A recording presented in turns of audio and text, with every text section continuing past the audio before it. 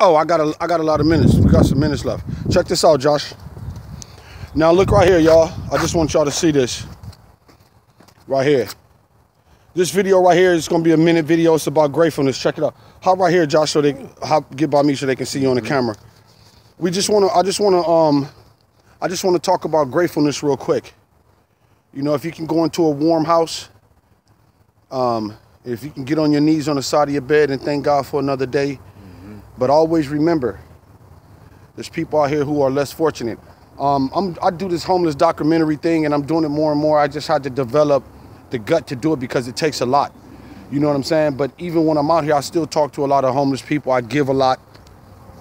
Um, not trying to earn gain from men, but it's just in my heart to do it.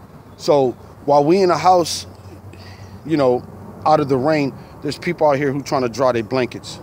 God bless. Pray for us. God bless.